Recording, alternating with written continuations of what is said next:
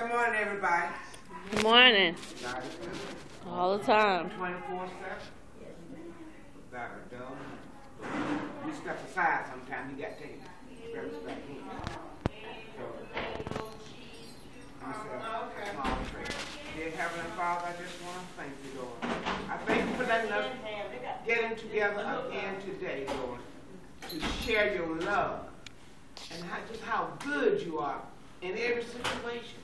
Through it all, even though we do things that we shouldn't do, but He is there for forgiveness. So whatever we do, before we go to bed at night, even riding down the road or whatever, let's cry out to God. Because without Him, we can do nothing. And He loves His children. Through it all, amen. Amen. you want to sing us a song? Jesus loves me. Oh, yes, he does. Jesus loves me. Oh, yes,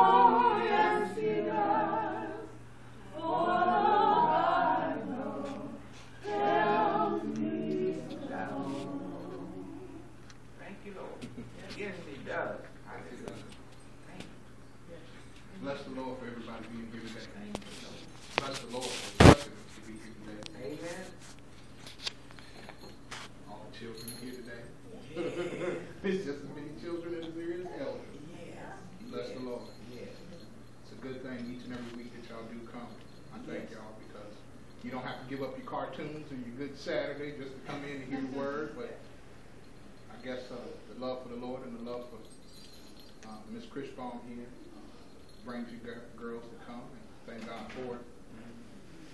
Again, I thank God for everybody being here today. I pray just as much as the elders will hear the Lord's word, that y'all will it too. Um, none of us are omitted from God's rule. Uh, none of us. He said when the child is old enough to understand, then it is on the child to do what is right in his eyes. And I know at you guys' age, um, I grew up in church all the time. Um, church did not bring me to God because we make our own choices. God brought me to God. Um, but I will tell you guys something that may help you in life, which is, is if you seek out the Lord, truly seek Him out. I'm not talking about going to some building and putting on some pretty clothes and clapping your hands. I'm not talking about the church thing. I'm talking about getting God. Um, because only you and God have to go through what you're going to have to go through. Um, and if y'all can't see how bad this world is already getting, time is going to end soon. You guys may not reach my age simply for the fact that the Lord is going to return soon. So while you got a chance and while you were able to hear this word, um, I pray that you guys don't look at me like no preacher. I'm not no preacher. I'm one of God's prophets. So I'm not here to preach and we ain't here to collect no money and we ain't here to sit here and do all of this music, music. We will praise him, but I am here to tell you the truth. So I pray that you take it and you understand it because it's for your own safety. Amen. Amen.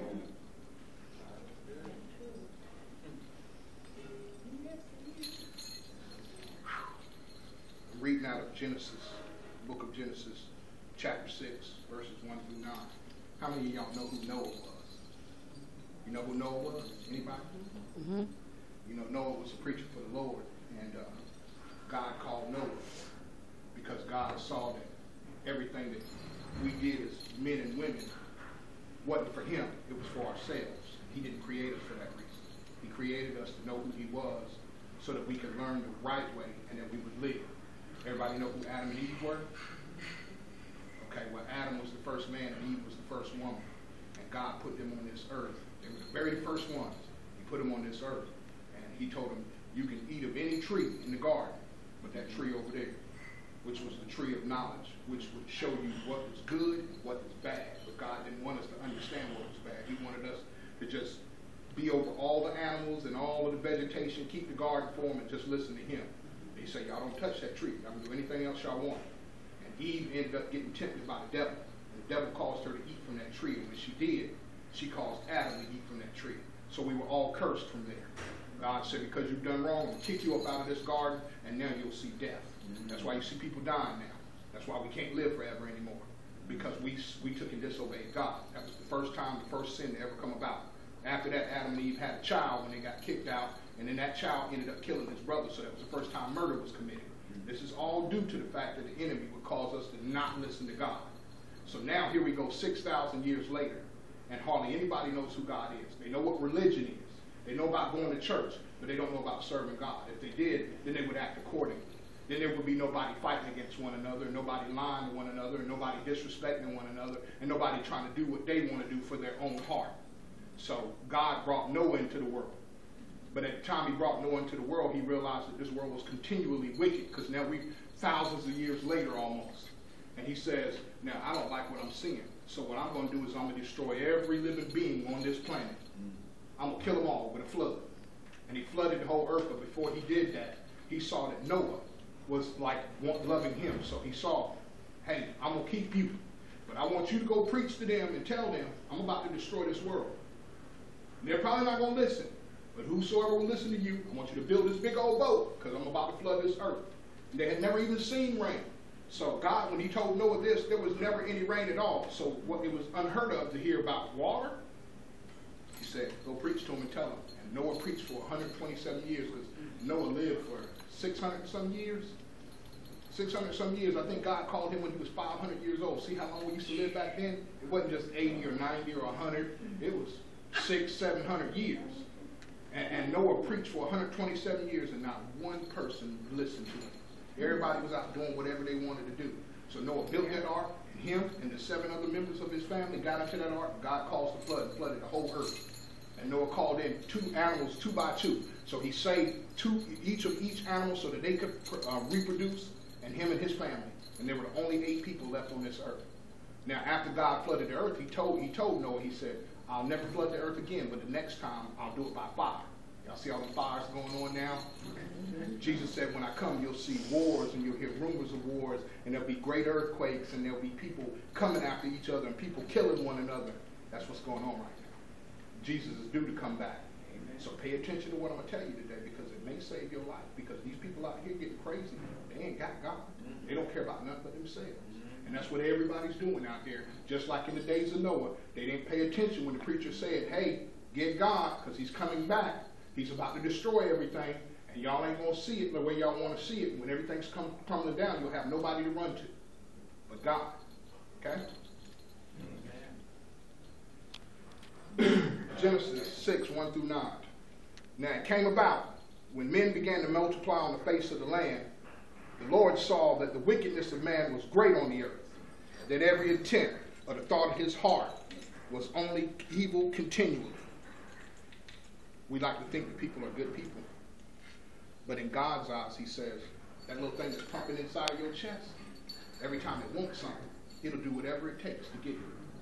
So everybody, just like you kids, they go after what they want. They don't care who they hurt to do it. And God saw this. He said, because y'all have sinned against me and I booted y'all out of the garden, now everybody's going for self.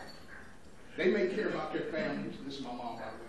They may care about their families. They may care about their children. But in the end, every man and woman that walks this earth only cares about what they want. They don't care about other people. They'll show kindness here and there, but it's not true love. It's not God's love. God say, you're only doing that to look good. Or you're only doing that to get something back from someone. But you're not doing it because you love me, because if you love me, you'll do it because I told you to do it. And you won't look for anything back. You see where I'm coming from? Y'all understand? Okay. So it came about when man began to multiply on the face of the land, the Lord saw that the wickedness of man was great on the earth, and that every intent of the thoughts of his heart was always evil. And the Lord regretted, regretted that he had made man on the earth, and his heart was deeply troubled. This is God. So the Lord said, I will wipe this human race I have created from the face of this earth, yes, and I will destroy every living thing, all the people the large animals, the small animals that scurry along the ground, and even the birds of the sky. For the Lord regretted that he had ever made man. But Noah found favor in the eyes of the Lord. For Noah was a righteous man, blameless in his time, and Noah walked with God. God's wrath against sin is furious. Sin. Sin is against God. That means you're not trying to figure out who he is. That means that you believe that it's going to be okay. When I was young, I thought I was going to live forever. When I was young, I'd get hurt. I'd be right back two, three days later, I'm fine. When you're young, you can break a bone. Bone heal like that. The older you get, the more your body starts failing. Or in life, when you start going through troubles, you're ladies. So with men, you're going to go through troubles. People use people, and they use your heart, and you follow this thing, you don't follow him, so you don't stay wise to the dangers that's out there. Because see, there's not only people that's out there, there's spirits that's out there. They don't want you to do what God wants you to do. So it'll cause you to get put yourself in a trap. People getting in trouble. Kids nowadays, they're going in schools, they're shooting one another. It's not just them. They're listening to him. They're not listening to him. All because they think they're listening to this. Well, you made me feel bad. You came against me. You said something bad about me. So I'm going to act evil towards you. That ain't nothing but the devil. God's wrath against sin is furious. It is why we see all these terrible things happening in this day, for Jesus warned us that he would return. But before his second coming, he warned us there would be troubles upon this earth and the people in it that would exceed anything or any time before. Pay attention to what God says about those who have been disobedient. It says in Romans 128 and 29, furthermore, this is for anybody that don't know who God is. Furthermore, since they thought it foolish to know who God was, he abandoned them to their foolish thinking and let them do things that should never be done.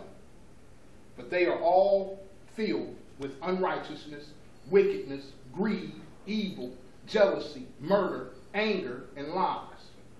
They are a sinful people who know not God. Tell everybody simply, if you want to know God, all you got to do is ask me yourself, Lord, I want to know you. Lord, show me what it is that I need to do to please you, not please myself. What would you have me do to please you? And then you wait. You continue to do the best that you can as young men and women and as elders. You continue to do the best that you can because you don't know the right way. Only God knows the right way.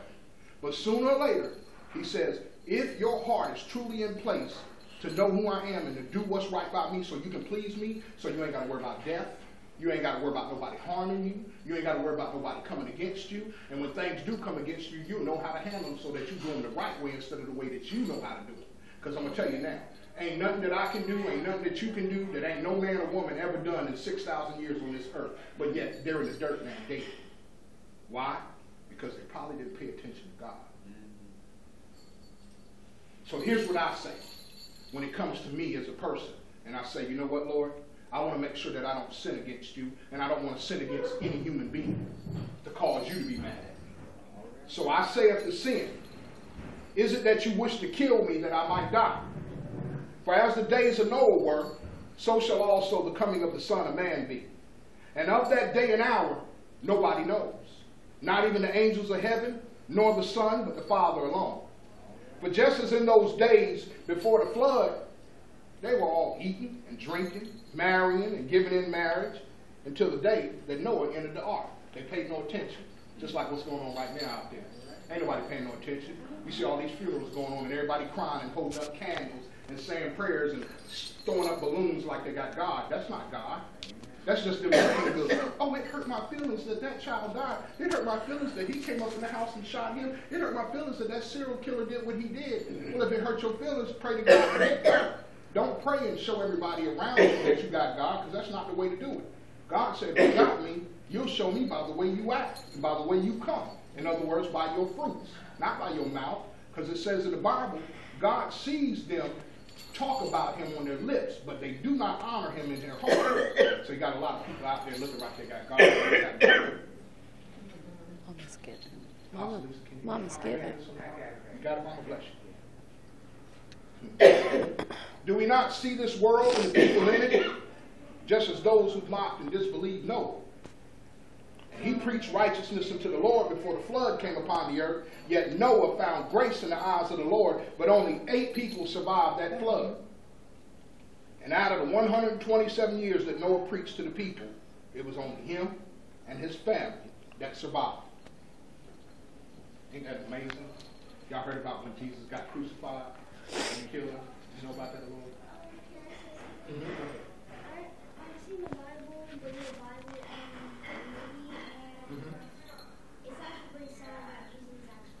did you see how they did it? That was his own people. That was God's people. Just like the people that, that claim they got God. Yeah, it was it was God's people. God chose the people, just like He chose us. You chose. You hear that? Believe it or not, even though in your heart you said, "I did that myself." God caused you to come here. Why? Because He got control of everything. See, we're not as wise as Him. We don't we don't see spiritually. God shows us how to see spiritually. That's the only reason why I can tell you what I'm telling you. See, now in the flesh, fleshly, I go by this and go by this, the same way y'all do. But see, God shows us how to do it with our spirit, the thing that keeps us alive, the thing that heals us, the thing that protects us. He puts his spirit upon us. When you saw Jesus get baptized, you see when he got baptized in, in the River Jordan by John the Baptist, and it say the spirit came upon him like a dove and it remained on him. Well, see, Jesus is the one now that gives us the spirit. But he had to come. He came as God in the flesh to show us all how to walk. Yet they didn't want to hear him, people in the churches, because they said, wait a minute now, we got this all sewn up. We can wear our pretty robes, we can sit here and let everybody appreciate us, and yet they'll do it by the law. And Jesus said, I didn't, I didn't come to not fulfill the law. I didn't uh, come to ban the law. I came to fulfill it. But I want to show you how to get closer to my Father. This is the way you must walk. And then he died for us. So everybody says, Jesus died for my sin. But Jesus said, follow me. How many of them are following Jesus? Not many. They may even know the lines. They may even see the Bible. They may even see shows. Ain't nobody truly trying to seek God out. They're still doing what they want to do. God doesn't like that. He said, you're still disobedient. You can't fool me. I'm God. You may fool a human being and say, look at me. I can do God. No, you can't. You can't fool God. You got to be real with God. You got to understand it. In any moment, and you know, children are dying just as much as elders. It, it's no longer, when I was coming up, there weren't many children that were dying. They die all the time now because everybody believes they're going to live forever. Everybody believes if I can see it with my eyes, that means I can get out of the way of danger. But what is the dangers that God may allow the enemy to come and do you and you not see it? If you don't know God, you don't know. And then you'll hope that, well, maybe my mom might be there for me. Maybe my brother or sister might be there for me. But God said, what would I put something on you that nobody can take off but me? He said, I bet you you'll start crying for me now. That's why you see everybody when they mourning and they got somebody that died or somebody that's sick, they say, well, just say a prayer for me. Why would you ask a sinner to pray for you and you ain't even got God? What do you think God does? God says, I never hear the prayer of a sinner unless they repent, which means they know who they are, they know they're guilty for their sins, and they have come to me and laid it out said, Lord, I'm a sinner. I need you to help me. I need you to show me the way so that I may please you. That's the only way he hears a prayer. So even when I see people say grace, you ever sit at home and you, you say grace when, before you eat dinner? He said, I don't hear the prayer of a sinner unless they repent. So I ask people all the time, I said, why are you even sitting there saying grace if you don't have God? Well, because it makes me feel like I got God. There you go, feeling again with that heart. It's not spiritual. Yes, ma'am. Um, every time I eat dinner, I say a verse for the Bible. Mm-hmm. You have to have it done by dinner. Amen. Do you pray to God yourself, though? Mm-hmm. All the time? Ask him when you're praying from now, ask him to show you how to do it the right way. Tell him that you really want him in your heart. And I guarantee you, it'll be between you and him. That's what you got to do. But that's a good thing. That's good that, that you got it in the household. But again, like I said, I was raised in the church too. But it didn't, you know, as the older we get, the more wicked we get because in the end we let this take over. So I'm giving you a clue into something that I already know, which is, is you continue to ask God to bless you and your family you continue to ask him that your family draw even nearer to him just as much as you, but you continue to ask him for yourself. Lord, show me how I must please you. Because in the end, when he comes to judge us, and you say, he said, well, why'd you do that wrong? You ain't to be able to point no finger to somebody. You're to say, I'm to judge them. I'm asking you, why didn't you do the right thing? So you make sure that you stay straight with God because it's between you and him.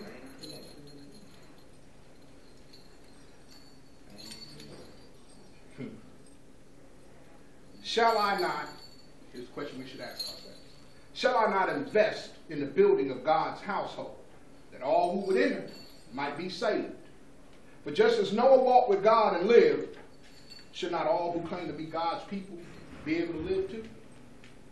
But just as God waited patiently in the days of Noah while that ark was being built, so has God also given favor to all who believe in him and are tried by fire and not die. We're going to have our troubles. Every single one of us got troubles. I go through the same thing you guys go through. I can sit here and talk all day about how good God is, but that's because I know he is. Because half the troubles that I go through may not be your troubles as a child. Our troubles are much greater. But because of God, we stand here. Every single one of these elders that you see in here today, you look at them and you say to yourself, oh man, I'm old to you. So I know you probably say, wow, they're, they're older people. And you think to yourself that you may not have to ever go through what they're going through, but I'll say this. How much more faith do they have than any one of us? Because they sit here right now. They ain't at home like you guys. They ain't at home like me. They hear. Yet they still hold on to God just as strongly as any one of us. Why? God causes them to be able to sit here and make it. God calls them to be able to come up in here and say, Well, I'm going to listen to your word and not think about all the troubles that I'm going through. That's faith. Yes. You better get it. Because in the end, God going to test you. Each individually, he know you better than you know yourself because he created you. And when he tests you, he'll put something on you that nobody else can help you with. And you'll be sitting there crying. I've had a million of friends I've had a lot of family, and I'm to tell you, there have been things and troubles that come upon me that I've never been able to count on them for because they didn't have the power, they didn't have the strength, they didn't have the money, they didn't have nothing to help me. And I had to break down on my hands and knees and cry. But most people, when God touch them like that, they'll break down and they'll cry and they'll pray to him. But as soon as the trouble's gone, they go back along their own little walk again, being foolish, not understanding. God calls that to make you pay attention. Now, who am I but just a foolish man without God? But with the Lord's grace have I found the gift of love, which is Jesus Christ, to be preached.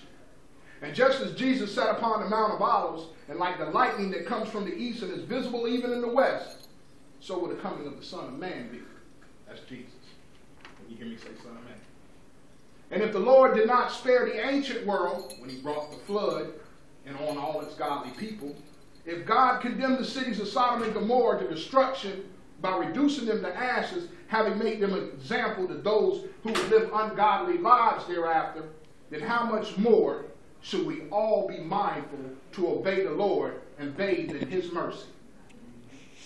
I say after sin, if God did not spare the angels when they sinned, and he cast them into hell and committed them to the pits of darkness reserved for judgment, then how much more will those who are disobedient be killed in a likewise manner. For even the beast, that's the devil, will be captured. And with him the false prophets who perform signs in his name, for they continue to fool those who have believed in their flesh and those who worship worldly things in the image of the beast. So shall they all be thrown alive into the lake of fire which burns with brimstone. That's the ending. Everybody that's disobedient to God They can't say they don't know it. They, they can't say that they don't know about it.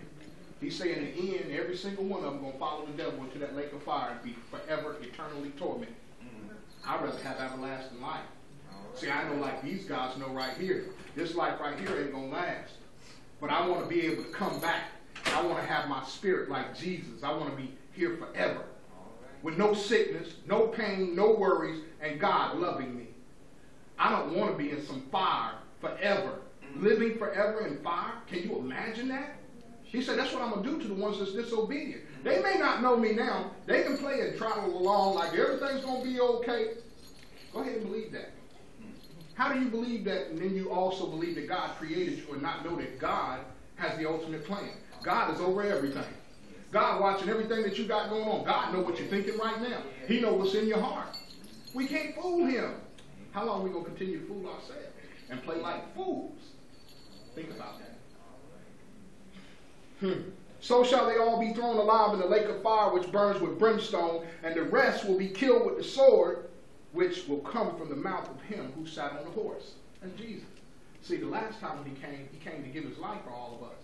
Everybody knows John 3.16, for God so loved the world that he gave his only begotten Son, that whomsoever shall believe in him shall have everlasting life. It's not about wearing a cross. It's not about saying, I, I, I Jesus saved me. Jesus didn't save you if you're not willing to be saved. Which means you have to know what God wants and please Him, else you're just talking. You don't know it, but you're just as bad as the ones that don't even care about what, what, what happened, and what God did. But when Jesus returns, He ain't coming to die for us. He coming to get everybody that was wrong. Everybody that ain't trying to have God, they're done. They're going to see troubles upon this earth and not know where to run. Soon you're going to see people running and going to hide because of the earthquakes and the buildings crumbling and the water ain't no more, ain't no more electricity. What everybody going to do then? They can't go to the safety of their houses and count on their bank account anymore. They can't count on people helping them out. Ain't nobody trying to help nobody now. People running up in places, robbing places, even subways and gas stations. You wonder why they doing that? You say, hmm, because they just hard off. They ain't got nothing. Everybody gonna be that way. Not just there. Everybody who's disobedient will go through that. We'll go through it, but we'll be safe. He said, I'm gonna protect y'all. I'm gonna make sure y'all okay. Don't worry. I don't want you to worry. I'm your God. I'm a mighty God. I've already told you this. All you got to do is read the book of Revelations. It'll show you. Read Matthew. Get a chance when you get home. Read Matthew 24. Jesus will tell you what's going on right now. You say, "Ooh, he's coming back soon. Look at all. This is a bad place now. Be grateful unto God and thankful for his mercy. Be humble. Humble means not having no pride. Humble means everything that I've been telling you right now, you take it seriously and you say, mm, you know what? I better start thinking about God and quit thinking about myself because this is really dangerous. These, this world is really dangerous. These people are really dangerous. I don't want to be like them, God. I want you to see me different. I want you to have favor upon me. Lord, I want you to protect me. I want you to protect my health. I want you to protect my family. I want you to make sure that I'm okay and that any danger I can't see, you protect me from that danger. Yeah.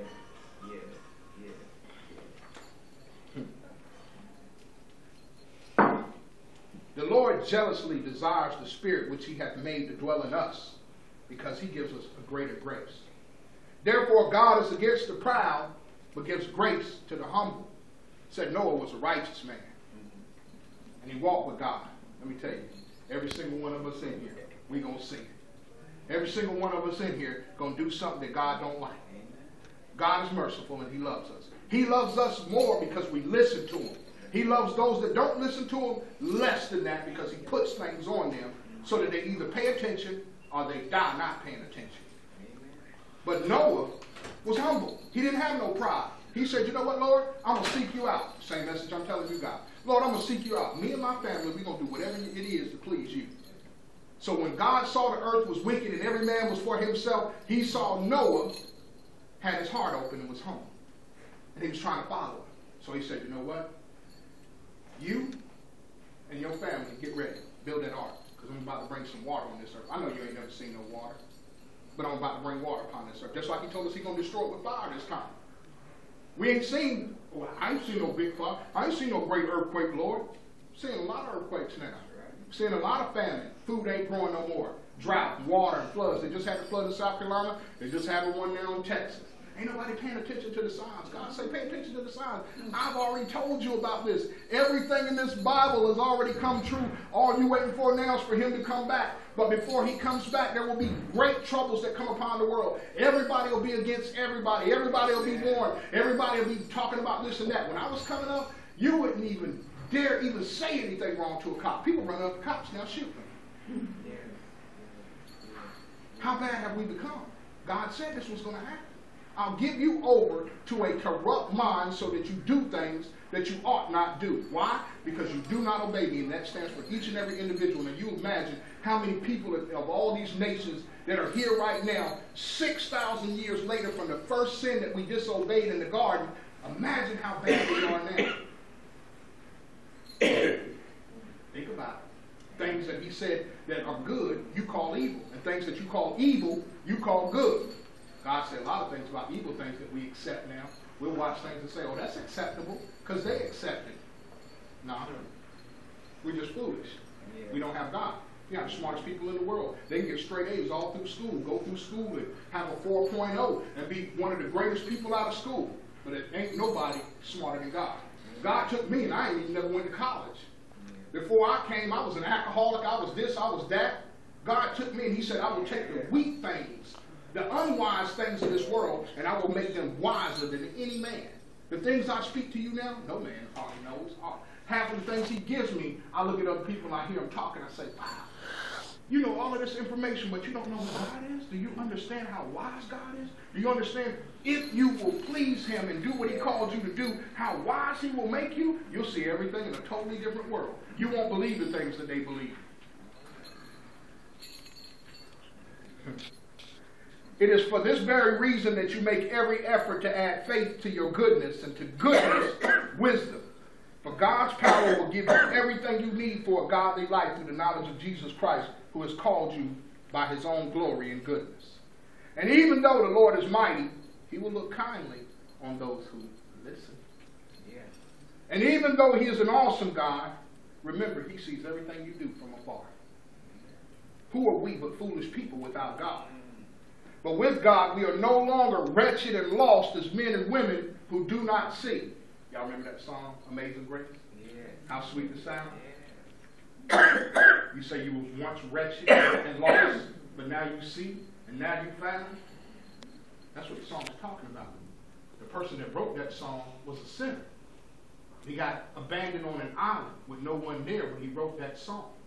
He was a bad person in the beginning. He was a captain of a big old entire army. And then he got lost on an island by himself. He ain't had nothing. And then he realized, you know what? Now that I can't prove nothing in this world about my money or taking and lording over people and making them do things that I want them to do to make my money and be seen, I have nothing. And he realized how wretched he was. Then he found God. He realized, you know what? Don't lose everything, y'all, to figure out who God is. Don't make God prove who he is to you. Because if he does, it hurts. It hurts bad. It hurts bad enough to make you turn around and say, you know what, Lord, I'm going to quit doing me. Because that fool want to die. Let me do you. That'll be a much better life than what I got going on there. I'm tired of all these troubles. I'm tired of all these enemies chasing me. I'm tired of always being paranoid because I did something wrong and there's somebody after me. I'm tired of fighting with people. I'm tired of arguing with people. Show me the right way. Amen. And he will if you truly believe that, you truly want that. But he knows whether you're lying about it. For just as Noah and his family found favor in the eyes of the Lord, so will the coming of Jesus be at the end of this age, that we should all be saved. Every living being on the face of this earth will be tested, and if they who do not choose God should be mindful that they will go down to the pit like the people of long ago pit being the grave. And they will be made to dwell in the earth below as in the ancient ruins, and they will not return or take their place in the land of the living. I saith to sin, for a brief moment, you all I wanted to do. But it is with deep regret I can never do you again. For it is the Lord that has caused me to see your wicked ways, which are set up in the image of the devil, who will not fool me any longer. For it is sin that has deceived the people of this world, that they would honor the devil that was wounded by the sword and still yet lives. I'll die no longer. And nor will I give myself to sin any more of my blood. For it is the Lord who has come against sin, exercising all authority on his behalf, that all whom he has chosen might be saved. Bless the Lord for all who honor his mighty name. Give him praise, for he is worthy. But without God, it's going to be impossible to live. Yet they who come to God must believe that he is Lord and that he is a rewarder of those who seek him. For just as Noah preached righteousness, being warned by God about all things not yet seen, in holy fear, he prepared an ark for the salvation of his household. And while the whole world was being flooded, he and his family became heirs of righteousness, which is according to God. I'm going to stop right there. Y'all get the gist of what I'm reading. Again, when you pray, pray that the Lord will bless you. He's already got mercy on you. How do you know? Because you're still living. Amen. How many people in this world still living right now, woke up this morning and still ain't thinking about God? That's his mercy. That's mercy. He don't have to have us living. We ain't doing nothing for him. That's his mercy. That's his grace. Long suffering patience with us. He was very patient with me for 40 some years. I did what I wanted to do. I did like everybody else. I like to fool people. If I went to church on Sunday, I thought that was good enough for God. Y'all remember what I'm telling you? Amen. I pray that you all have a blessed weekend. And I pray that the Lord's message was ingested and retained by you. I love you, and y'all have a blessed weekend. Amen.